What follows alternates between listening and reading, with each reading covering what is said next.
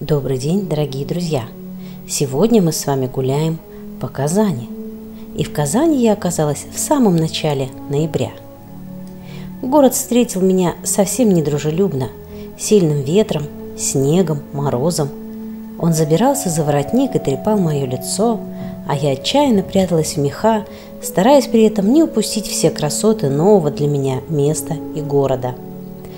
Все первые экскурсии пришлись на вечер. Времени было критически мало, но город прекрасно подсвечен, поэтому он приобрел для меня свой особый колорит. Больше всего в новых для меня местах притягивает архитектура. Она для меня застывшее движение, мысль, которая получила форму. И Казань теперь прочно будет у меня ассоциироваться с пряничным домиком, начиная с создания Казанского вокзала и до острова Свияжск. Думаю, что такой колорит получился из-за смешения не только времен и стилей. Старый город и новый город, готика и новые тенденции. Стилевая свобода в градостроительстве в Татарстане очень поощряется. Но и из-за смешения двух культур – восточной и западной. Высокие шпили и стрельчатые ажурные арки, напоминающие покои восточных правителей, встречаются тут на каждом шагу. Даже в качестве декоративного принта на стенах подземного перехода – и то, как они вписаны в европейские формы, задачи, а порой в совершенно современные материалы, достойно удивления. Пряничный домик, сказочный дворец, дворец принцессы – это те слова, которые мне приходили на ум чаще всего. К слову сказать, и самый настоящий дворец тоже удалось найти. Им оказался детский кукольный театр. Большинство зданий многоярусны, словно имеют несколько слоев – и нижний слой, как правило, окрашен в темные тона, а верхний в более светлый, с белым декором, который выглядит как отделка кружевом. У некоторых домов совершенно необычная кирпичная кладка. Кирпич маленький, нежных оттенков, поэтому дома выглядят легкими, ажурными и почти невесомыми. Глаз от них оторвать было практически невозможно. Если вам кто-то предложит встретиться напротив Кремля, подумайте о нем плохо – потому что это не хорошая шутка. Кремль большой. Нет, он очень большой. И лично мне пришлось обходить его около получаса, а фраза, которая показалась мне очевидной, оказалась большим подвохом. Как можно назначать встречу против чего-то круглого? Тут нужен компас и карта, иначе можно заблудиться. Казанский Кремль уникален тем, что на достаточно небольшой площади, масштабах города, конечно – собрано большое количество зданий и построек, которые относятся не только к разным эпохам, но и к совершенно разным культурам. Вообще в Казани видеть на одной стороне улицы мечеть, а на другой православный храм – обычное дело. В Кремле мы увидим то же самое, но и современные здания соседствуют вполне спокойно с древними крепостными башнями. На территории Казанского Кремля умещается 13 башен, дворцовая церковь, мечеть Кул-Шариф – президентский дворец, Спасо-Преображенский монастырь, юнкерское училище и даже пушечный двор, на котором во время войны с Наполеоном изготавливали и ремонтировали пушки. Все здания тесно жмутся друг к другу. Стены монастыря упираются в башню Сюмбике, загадочную постройку, дата возведения которой затерялась в веках и которая падает и все никак не может упасть. Отклонение башни от вертикальной оси составляет около двух метров. По одной из легенд, башня была построена царицей Сюмбике в память своего мужа Сафа Гирея, умершего в 1549 году. По другой легенде, она была сооружена по приказу Ивана Грозного за семь дней, символизирующих семью ярусов, после взятия Казани в 1552 году по условию просьбе царицы Сюмбике, которая сбросила седьмого яруса, потому что царь категорически настаивал на женитьбе – как однажды спел об этом Борис Борисович Гребенщиков, дело было в Казани, дело кончилось плохо. Стены и башни Кремля относятся к каменному зодчеству XVI-XVII веков. Они выполнены в традиционном для России архитектурном стиле. К этому моменту ханских построек в Казани практически не осталось. Мало что напоминало, что когда-то здесь было Казанское ханство. В настоящее время Казанский Кремль занесен в список особо охраняемых объектов ЮНЕСКО, о чем нас с вами извещает специальная эмблема над одной из центральных арок. Когда я брожу вдоль таких крепостных стен, мне очень трудно поверить, что когда-то тут жили люди. Дамы в длинных платьях и многослойных юбках, солдаты на карауле, священники, все они сновали по этим коридорам, куда-то спешили, выполняя свои будничные дела. Это кажется таким нереальным, и тем удивительнее возможность прикоснуться к такой таинственной памяти прошлого. Перемирие культур, пересечение эпох здесь видно так явно, что хочется верить, что она вообще и в принципе возможна везде, а не только в Казани. Мечеть Кул-Шариф – одно из самых красивых архитектурных чудес Казани. Невесомая, устремленная ввысь, в своем невероятном сочетании белого и голубого, она смотрится как еще одно чудо света на территории Казанского Кремля – в мусульманской религии запрещено изображение животных, птиц и других существ, поэтому строгий вид мечети украшают только геометрические узоры, которые делают ее похожей на небесное кружево, воспарившее в воздухе. Строительство храма было начато в 1996 году как воссоздание легендарной многоминаретной мечети столицы Казанского ханства, центра религиозного просвещения и развития наук Среднего Поволжья XVI столетия – Мечеть была разрушена в октябре 1552 года во время штурма Казани войсками Ивана Грозного. Купол декорирован формами, ассоциирующимися с образом и декоративными деталями казанской шапки. По одной из версий, короны казанских ханов, увезенные в Москву после падения Казани и выставлены ныне в оружейной палате по приказу Ивана Грозного после взятия Казани, чтобы прочить титул казанского царя. Высота каждого из четырех основных минаретов 58 метров. Это фантастически красивое здание. Строительство мечети обошлось в 500 миллионов рублей и в основном велось на пожертвования. Участие в пожертвованиях приняло более 40 тысяч горожан и организаций.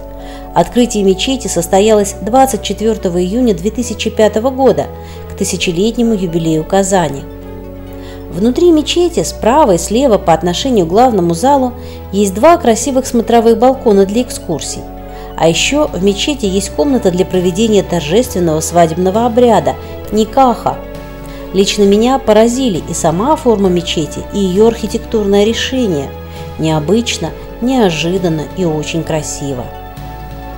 Казань ночная – это совершенно невероятное зрелище, начиная от практически театральных площадей – различных заведений, где можно приобщиться к современному и не очень искусству, до присутственных и официальных зданий, все горит и сверкает разноцветными огнями. Я боюсь обидеть своим невниманием родной Питер, но большинство наших зданий подсвечены по козырьку и линейно по уровням этажей. Здесь же весь фасад торжественно сияет. Банки практически не отстают от присутственных зданий, отличает их, пожалуй, наличие флагов и размеры и монументальность конструкций – последних больше наследия советской эпохи. Куда бы вы ни шли, если на небе темно, поворачивайте на набережную. Там ярко до боли в глазах, празднично играет музыка. На всем протяжении набережной устроена уютная пешеходная зона с деревянными скамейками в виде диванчиков, яркой иллюминацией и музыкой, как вообще совершенно другой мир. В декабре здесь заливают каток, наверное, самый длинный каток из всех, которые только можно придумать, потому что он тянется вдоль всего берега реки Казанки. Длиннее будет, если только залить его на верхушке Великой Китайской стены. Уникальность казанской иллюминации в том, что некоторые здания только ночью обретают свою неповторимую красоту. Настолько невероятна и их форма, и идеи, которые реализовывал архитектор. Например, дворец земледельцев с монументальным деревом в центре архитектурной композиции, подсвеченным изумрудно-зеленым цветом – в здании располагается Министерство сельского хозяйства и продовольствия и Главное управление ветеринарии Республики Татарстан. В общем, в его ведомстве все живое, что растет и плодится. Здание на несколько этажей уходит под землю, чтобы не быть выше Казанского Кремля. Сам же Кремль в ночи словно плывет в воздухе в облаке огней – все эти интересности разбросаны по всему городу, но, конечно, в центре их больше всего. Чтобы успеть посмотреть все за пару часов, я рекомендую вам взять автобусную экскурсию. И расскажут, и покажут. Я бы сама, например, никогда не догадалась, что невероятное по своей форме сооружение в виде огромного котла является дворцом бракосочетания, центром семьи и называется Казан в честь реки Казанки и самого города – Его постоянно мигающая подсветка создает полное ощущение трепещущего на ветру огня, который подогревает этот великолепный котел. Обязательно посетите новые спортивные сооружения, которые Казани экстренно пришлось строить к универсиаде 2013 года, огромному спортивному празднику, собравшему спортсменов-студентов из 160 стран. Во многом такой великолепный вид Казани и ее благоустройство обязаны именно этой необходимости – обеспечить максимально комфортные условия для ее проведения и соответствовать требованиям контролирующих организаций. Стадионы, дворцы спорта, под различные спортивные направления, общежития, целый комплекс этих зданий вырос буквально на глазах горожан. Центральные улицы Казани полны зимнего волшебства. Снега здесь уже в ноябре много, он сыпет и сыпет огромными снежинками. Фонари в совершенно классическом стиле окунают во времена начала 20 века, а может быть и в более древнюю эпоху.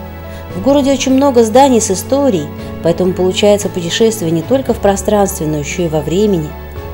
Особого упоминания стоит улица Бауманская, пешеходная улица, которая очень красиво украшена и загорается яркой иллюминацией, когда на улице темнеет.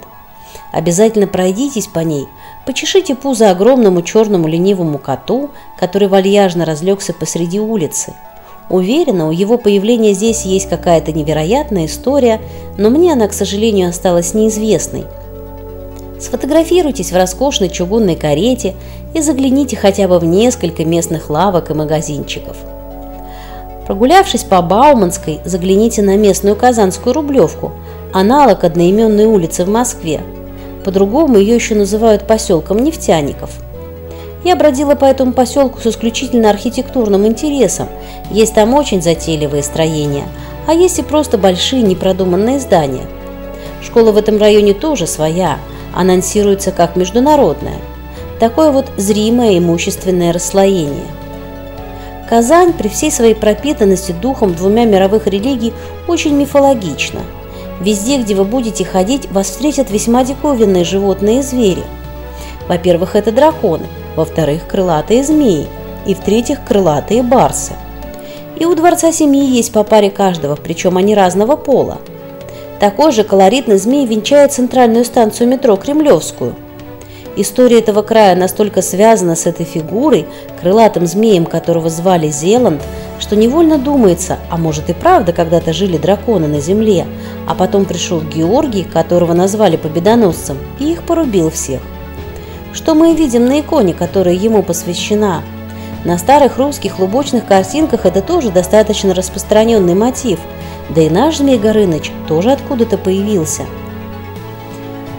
Это странно и непостижимо, но я оказываюсь в Казани 4 ноября, в день иконы Казанской Божией Матери, поэтому, спохватившись, тороплюсь в крестовоздвиженский храм Казанского Богородицкого монастыря, несмотря на промокшие ноги и усталость. По преданию, 12-летней девочке Марфе, дочери сотника Анучина, трижды являлась во сне Пресвятая Богородица, повелевая идти на городское пепелище и обрести ее образ. Девочка рассказала матери, а та сообщила о видении архиепископу Казанскому Иеремии, который благословил духовенство участвовать в поисках иконы. 8 июня 1579 года девочка Марфа обнаружила икону Богородицы на месте сгоревшего дома – до начала XX века с иконы было сделано большое количество копий, списков, которые разбрелись по всей России. Наиболее известные и почитаемые копии сейчас хранятся в Витебске, Петербурге, Вязниках, Тобольске, Тамбове. Известны также Нижнеломовская, Тобольская, Тамбовская, Высочиновская и Вышинская иконы –